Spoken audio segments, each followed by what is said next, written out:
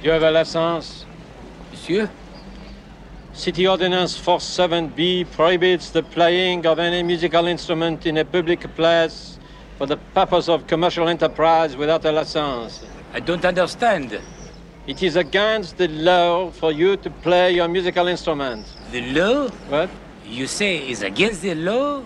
Yes, unless you have a proper license. Uh, what kind of license?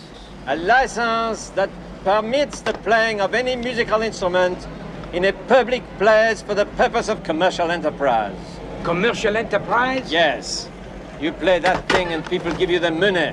People give the monkey the money. It is the same. Oh, not at all, monsieur. I am a musician and the monkey is a businessman. He doesn't tell me what to play, and I don't tell him what to do with his money. Monsieur, don't try to be funny with me. He is your monkey, therefore it is your money. He lives with me, but he is not my monkey. One day I came home and I found him sitting in the living room.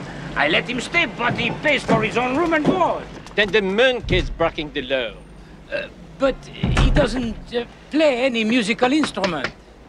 City Ordinance 132R prohibits the begging. How do you know so much about uh, city ordinances? What sort of stupid question is that? Are you blind? Yes. Oh, I see, yes, yes. Yes, of course. Well, you happen to be talking to a police officer.